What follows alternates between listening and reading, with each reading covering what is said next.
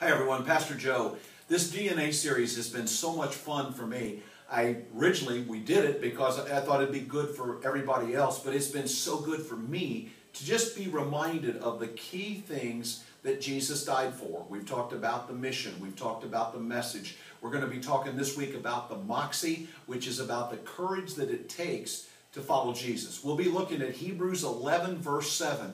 By faith Noah. You read the rest of the verse for yourself, but we're going to talk about what faith really looks like. It's not about what we believe, but it's about what we do with what we believe. And we're going to talk about my favorite subject with this missions. And sometimes people don't understand. The mission is to take the message of Jesus, yes, to the world. This is why it's here.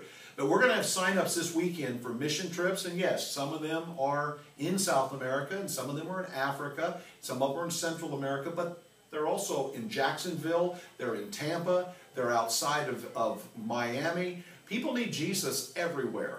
And what happens is when you get involved with the mission, God transforms you. The Word of God comes to life in you because you're putting into practice the very important things that God said we're supposed to focus on.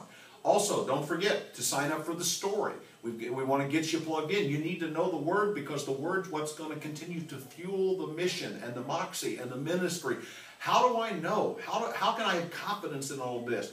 Come and be a part of the story. Get into a small group. Sign up this weekend. Oh. Join with Carrie.